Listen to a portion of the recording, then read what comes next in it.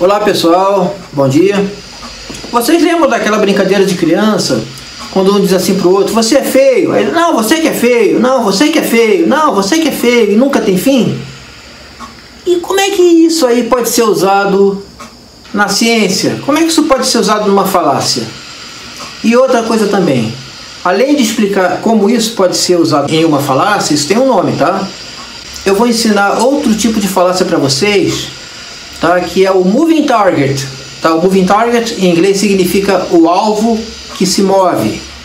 Mas eu vou explicar detalhe por detalhe para vocês dessas falácias aí e como é que elas são utilizadas e dar alguns exemplos. Esse vai ser um vídeo didático, não vai ser um vídeo profundo, tá? Não vai ser um vídeo com altos teores científicos, porque muitos dos meus seguidores, gente, são jovens, são pessoas que estão começando na ciência agora, que estão começando a aprender o pensamento científico. Então a minha intenção também é educar, é, ensinar essas pessoas a pensar cientificamente, tá? E ter assim uma visão ampla do que são essas falácias e começar a aprender a escapar das fake news, a perceber quando uma pessoa está fazendo uma falácia, quando perceber que durante um debate, se estiver debatendo com alguém, que essa pessoa de repente entrou numa falácia e você está falando, ah, ela está usando aquela falácia tal, tá? Então eu vou ensinar umas duas ou três ou quatro falácias aqui para vocês. Conforme eu for me lembrando, eu vou falando, tá? Se faltar alguma, fica para outro vídeo.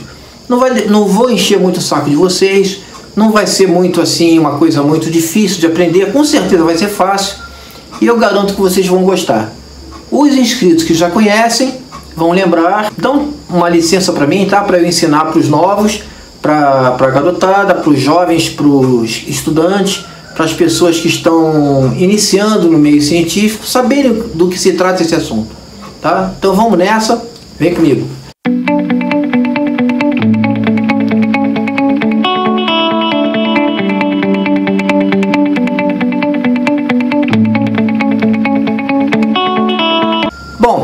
primeiro lugar, é aquela história da brincadeira de criança. Não, não, você é feio, você não é. Não, eu, eu é, você é feio. Não, você que é feio, você é feio. Não, você que é feio. Em ciência, a gente tem uma, uma coisa que se chama ônus da prova. O que, que é isso? Se eu disser para você assim, a lua gira. Aí você diz para mim, prova que a lua gira. Eu tenho que provar que a lua gira para você. Tá? O ônus da prova pertence à pessoa que faz a afirmação.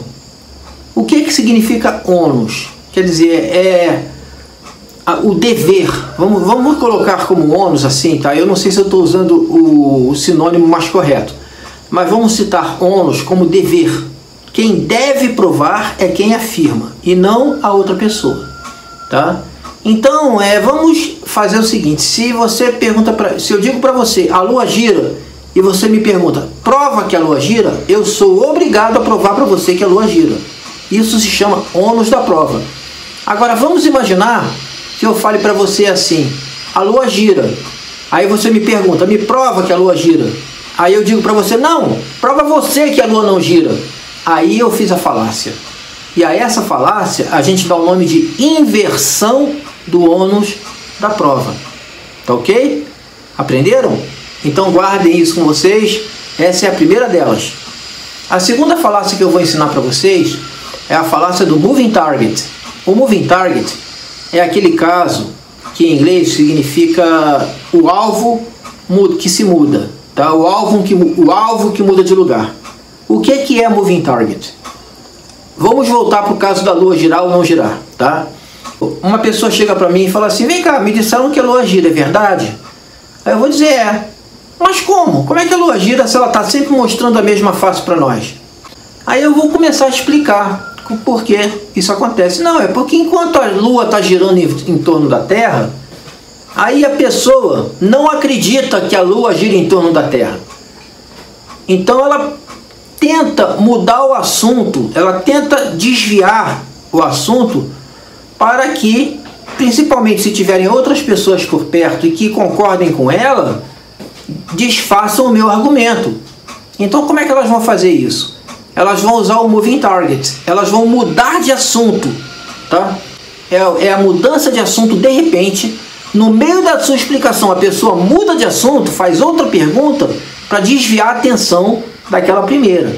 Essa segunda pergunta se transforma no segundo debate que acaba fazendo com que aquele primeiro assunto morra, vá para o espaço. O moving target é muito utilizado em vários canais aqui que eu não vou citar quais são, porque eu não quero criar tretas. A minha intenção é ensinar, é educar. Tá bom? Então fomos com duas falácias aí. Primeiro, o ônus da prova e o segundo foi o moving target. Tá ok? E temos mais uma falácia também, a última de hoje, tá? A famosa falácia do espantalho. A falácia do espantalho é o seguinte, ela pode ser usada de duas formas. Quando você quer atacar a ideia de uma pessoa, você pode fazer de duas formas isso. Ou você zomba da ideia da pessoa, ou você zomba da pessoa. Tem mais duas formas, são quatro formas na verdade. Ou você desacredita a pessoa é, falando mal dela. Isso é muito usado em advocacia. Quando o advogado quer desacreditar a testemunha para o júri, ele detona a testemunha. Ele fala que a testemunha é vagabunda, se for uma mulher, a testemunha, se for um homem, é um maconheiro, é, denigre a imagem da testemunha de tal maneira que o júri fica tendendo a não acreditar no depoimento da testemunha. Essa é uma forma. A outra forma é você ridicularizar a ideia da pessoa ou a pessoa, tá? Eu digo para vocês, vamos voltar à ideia da Lua? Olha, a Lua está com a face, com a mesma face sempre voltada é, para a Terra, porque ela gira em torno da Terra. Aí vem a pessoa e diz: Ei, aí é, o cara está falando que a Lua gira em torno da Terra. Quá, quá, quá, quá. Aí o que, que as outras pessoas vão fazer? Elas vão rir da sua ideia também, tá? Principalmente se aquelas pessoas forem adeptas da ideia daquela pessoa que está tentando desfazer da sua ideia. Tá? Eu estou sendo claro aqui? Então, essa falácia transforma aquela ideia ou aquela pessoa no espantalho. Ela denigre a pessoa ou ridiculariza a pessoa. Gente, eu já vi essa falácia do espantalho, no caso da ridicularização, acontecer ao vivo. Eu já vi acontecer. Tá bom, vocês vão dizer aqui que é evidência anedótica. Outra coisa, o que é uma evidência anedótica? Evidência anedótica é aquilo que se conta, nem sempre é aquilo que aconteceu. Tá? Uma evidência concreta é aquela evidência que você tem coisas concretas para serem provadas e mostradas.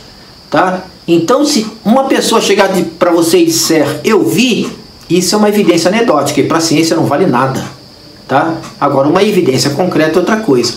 Então, se a pessoa tenta desacreditar a ideia, usando de evidências anedóticas, ou ridicularizando a ideia, ridicularizando a pessoa, ou falando mal da pessoa para a pessoa ser desacreditada, isso é conhecido como falácia do espantalho. Então, muito obrigado por terem assistido o vídeo até aqui. Eu vou partir para a edição agora, tá? Eu não fiz roteiro, como vocês sabem, eu não faço roteiro, então me perdoem aqui às vezes as titubeadas, as falhas, as, as falhas. Eu não faço roteiro, já expliquei e vou explicar de novo, porque a partir do momento que eu faço roteiro, eu fico escravo dele e me torno um robô. E eu não quero isso. Nada contra quem faça roteiro, pelo amor de Deus. Tem muita gente aqui que é especialista em fazer roteiro, roteiriza muito bem, não fica robotizado e o vídeo fica excelente. Mas eu sou contra. Eu, o meu estilo de vídeo é esse, é natural. Vou editar sim, vai ter edição. Eu vou cortar pedaços, vou cortar trechos que eu errei, mas de qualquer forma eu não faço roteiros. Então tá aí explicado algumas falácias para vocês. Eu indico o um livro aqui muito interessante, um livro do Carl Sagan chamado é, O Mundo Assombrado pelos Demônios, aonde ele cita várias falácias, muitas dessas que eu falei e outras que eu não falei aqui. E vocês vão ver como tem argumento da autoridade, argumento do poder, vários tipos de, de falácias e de, de argumentos que auxiliam a você a destruir a ideia de alguém, a ir contra a ideia de alguém, ou vender uma ideia que você quer que as pessoas acreditem através dessas falácias, como a do non sequitur, onde você fala 30 frases que são verdadeiras, mas que quando unidas se tornam uma grande mentira. Então, muito obrigado, deixem um like, inscrevam-se no canal, meu apoia-se está aqui embaixo Tá? As pessoas que quiserem apoiar o canal com, é, para a gente poder melhorar o cenário. Hoje eu mudei o cenário, vocês viram? Aqui é o orquidário, ó. Esse é orquidário, minha mãe ela, ela é orquidófila, ela gosta de cultivar orquídeas, então aqui é o orquidário. Nós moramos em apartamento e ela pendura as orquídeas dela. Esse orquidário aqui já faz sucesso há algum tempo aí pelas fotos que eu faço, o pessoal gosta muito, né? Não está na época das flores, mas quando elas florescem, isso aqui fica muito bonito. Então, gente, um abraço. Inscrevam-se no canal, deixem um like, compartilhem, mostrem para os amigos, é, comentem aqui embaixo e tchau, tchau.